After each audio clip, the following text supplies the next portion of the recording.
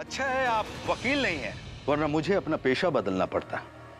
Anyway anyway, आप अदालत को यह बताइए कि एग्जैक्टली exactly उस दिन हुआ क्या था। मेरा रिक्शा अचानक अभिषेक मेहरा की कार से टकरा गया। उन्होंने मुझे देखा और वो उस वक्त बहुत गुस्से में थे। गाड़ी से बाहर निकल निकलने वाले थे मुझसे बहस करने के लिए। मैं उन्हें देखकर बहुत डर गई और मैं फटाक से अपने रिक्शे में जाकर बैठ गई। उसके बाद मैं वहाँ से निकल गई। देखा उनकी गाड़ी मुझे फॉलो कर रही है, मैं बहुत डर गई थी। इसलिए मैंने रिक्शे वाले को बोला, जल्दी चलाओ जल्दी चलाओ। वो बहुत तेज़ी से चलाने लगा, देखा कि अभिषेक मेहरा की कार भी बहुत फास्ट मुझे फॉलो कर रही है मैं अचानक से अपने होटल में घुस गई। वहाँ जाकर मैं मैं लिफ्ट से फटाफट ऊपर गई थर्ड फ्लोर पर, जहाँ जहाँ मेरा रूम था और मैंने रूम का दरवाज़ा लॉक कर लिया। पता नहीं कैसे वो दरवाज़ा खोलकर अंदर आ गए। जैसे ही वो अंदर आए, अचानक से बेहोश हो गए। उनके बेहोश होते ही मैं खिड़की से बाहर चली गई। कैसे? खिड़की के बाहर एक सीढ़ी रखी हुई थी। मैं फटाफट सीढ़ी से नीचे उतर गई। लेकिन जज साहब खिड़की के पास कोई सीढ़ी नहीं थी।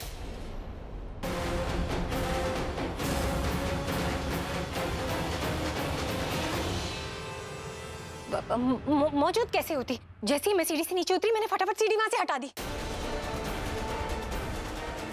क्योंकि मुझे लगा कि जब अभिषेक मेहरा को होश आए तो उन्हें पता नहीं लग, लगना चाहिए कि मैं बाहर कैसे निकली हूँ। मिलॉर्ड विंडो के पास सीढ़ी पहले से ही मौजूद थी। इतना बड़ा इत्तेफाक इन्हीं के साथ होना था। जो ये कहानी सुना रही है किसी ने इनको तोते की तरह रटाया है। मुझे नहीं पता ये कहानी किसने लिखी है लेकिन जिसने भी लिखी है उसने एक गलती कर दी है। मिलॉट आज अदालत में सारे गवाह मौजूद हैं, जिनकी गवाही से यह साबित हो चुका है कि मिस्टर मेरा ने ही सिमोनिका का खून किया है।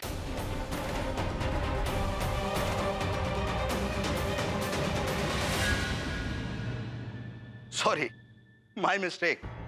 सिमोनिका तो मेरे सामने है और खुद ये कबूल कर चुकी है कि यही सिमोनिका राणा है। आप पूछना क्या चाह रहे हैं? सीधा सीधा पूछिए।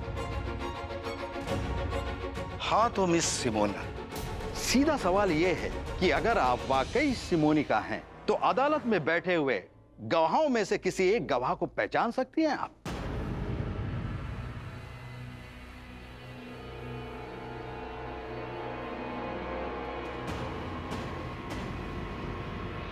क्या हुआ?